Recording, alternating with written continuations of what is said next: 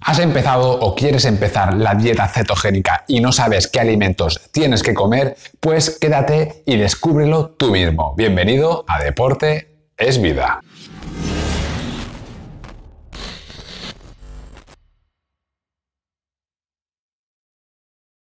Para aquellas personas que no sepan qué es una dieta cetogénica, es una dieta muy muy baja en carbohidratos, moderada en proteínas y muy alta en grasas. Y como sustrato energético, al no tener la glucosa de los carbohidratos, se utilizan los cuerpos cetónicos. De todas formas, en este vídeo te explico mucho mejor cómo hacerla. Pero ahora nos vamos a centrar en los alimentos cetogénicos. Puedes pensar que hacer una dieta cetogénica pues tenga los alimentos bastante limitados, pero no es así. Tienes una gran cantidad de alimentos para poder consumir, lo que tienes que ir mirando ciertas cosas que veremos a continuación. Pero, a ver, si un alimento que está permitido en la dieta cetogénica no te gusta, pues lo puedes sustituir por otro, que no hay problema. Básicamente es consumir comida real, pero veamos los alimentos más interesantes. La carne, todo tipo de carne, ya sea de pollo, pavo, cerdo, ternera, buey, ciervo, jabalí, etcétera, etcétera, etcétera. ¿Por qué? Pues porque nos aportarán proteínas también, depende de qué carne, también grasas, y lo bueno es que la carne es muy saciante, que es un punto muy importante a la hora de hacer una dieta cetogénica, que los alimentos que comamos pues nos sacien. Pero ojo, intentad evitar los embutidos. Si los podéis evitar, mucho mejor. Sigamos con los pescados. La verdad es que todos valdrían, pero los mejores son los pescados grasos, es decir, los pescados azules, como el atún, el salmón, la caballa, el emperador, eh, el jurel, boquerones, sardinas, todo este tipo de pescados es muy bueno porque nos aportarán pues grasa y proteína. El marisco y los crustáceos también son una buena opción porque tienen muy poca cantidad de grasa, casi no tienen carbohidratos y básicamente son todo proteína y destacan por el sodio, el magnesio y el potasio. Tenemos los mejillones, las almejas, el cangrejo, las gambas, el bogavante, los berberechos, todo este tipo de marisco, pero cuidado de no pasarnos y consumir una barbaridad por el tema de ácido úrico.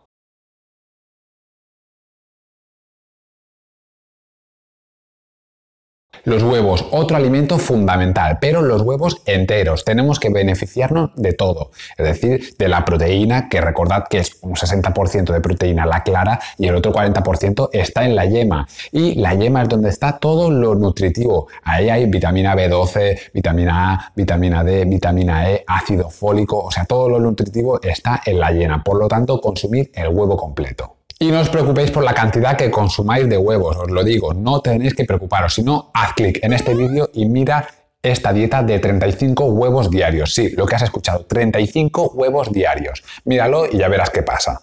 Lácteos. Puedes optar por el queso fresco, el queso cottage, eh, un yogur griego pero que sea sin azúcar, también la mozzarella. O sea, los lácteos, no todos los lácteos valen, sino que sean lácteos que contengan muy pocos carbohidratos, que como mucho tengan 5 gramos de carbohidrato por cada 100 gramos.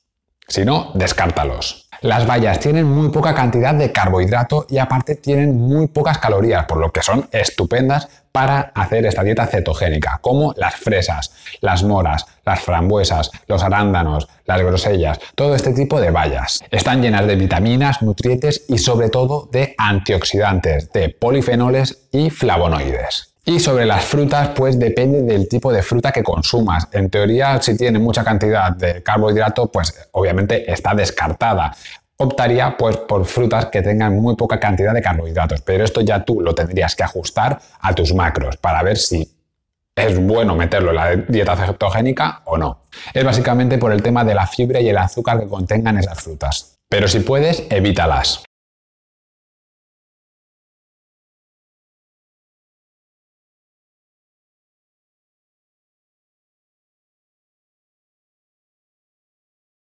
Los vegetales priorizaremos los que contengan más polifenoles porque actúan contra los radicales libres y son antioxidantes, pues como la espinaca, el cale, la col, el brócoli, la rúcula, todo este tipo de vegetales. Verduras, hortalizas y frutos como el tomate, el pepino, el calabacín, berenjenas, pimiento, todo este tipo de verduras puedes consumirlas. ¿Por qué? Porque aportan muy poca cantidad de carbohidratos y muy poca cantidad de calorías. Por lo tanto, consume. Puedes ir al fallo, comer lo que te apetezca. Bueno, a ver, lo que te apetezca, lo que te apetezca no, tienes que ajustarte a los macros, pero básicamente puedes consumir bastante porque te va a saciar. Que recordemos que es lo más importante de la dieta cetogénica, que estemos saciados y que podamos llevarla bien.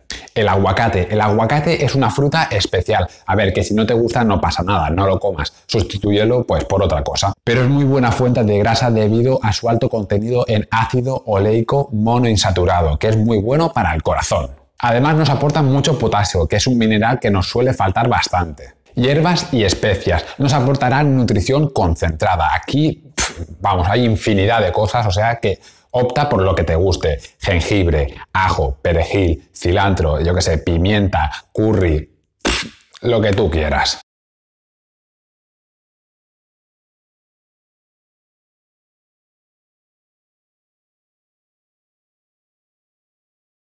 Frutos secos y semillas nos aportarán proteína vegetal y grasa saludable. Están repletos de vitamina y son calóricos. Aparte, nos aportarán una buena cantidad de fósforo, calcio, potasio y magnesio. Aquí ya puedes optar lo que más te guste. Almendras, nueces, nueces de macadamia, eh, semillas de lino, de chía, de amapola, de lo que tú quieras.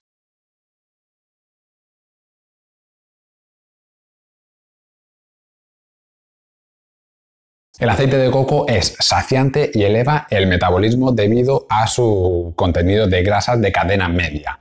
O sea, es un aceite perfecto pues para cocinar o para consumir. Por ejemplo, si te gusta el, el café, como no podrás echarle azúcar, le puedes echar un poco de aceite de coco. El aceite de oliva, otro aceite estupendo, es por eso que le llaman el oro líquido. Si puede ser que sea aceite de oliva virgen extra.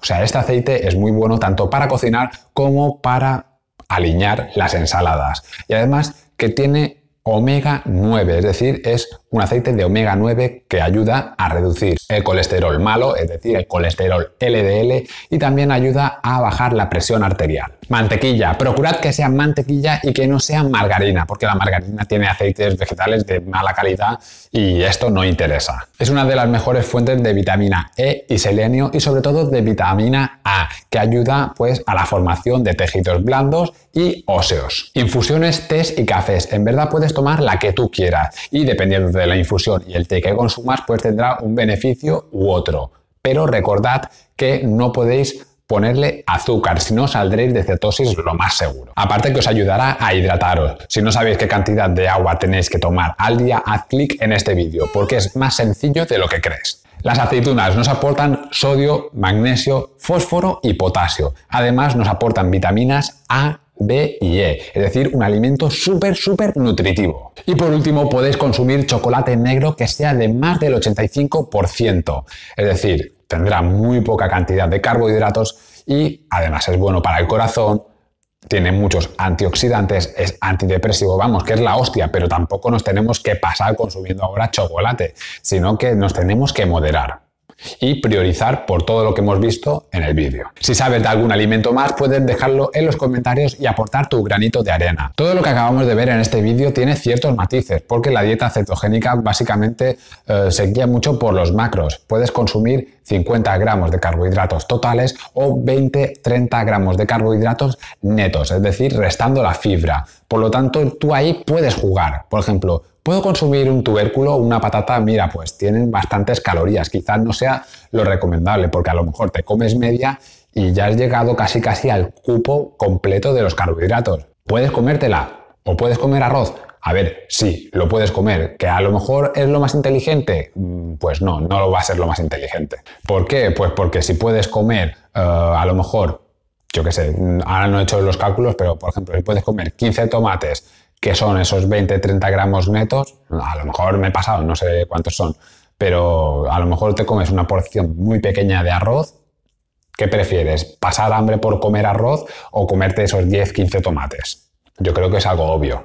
Por lo tanto, valora tú qué es lo que quieres consumir, si quieres pasar hambre o no. De todas formas, si quieres saber más sobre la dieta cetogénica y entrar mucho más en detalle, haz clic en esta lista de reproducción. Aparte te hablaré de lo que es la fiebre keto, eh, de cómo entrar y salir de cetosis, o sea que es muy interesante. Y también te recomiendo que te suscribas porque voy a subir vídeos muy pero que muy interesantes. Activa la campanita para no perderte ninguno de estos. Nos vemos dentro de muy poco en otro vídeo, pero recordad, el deporte es vida.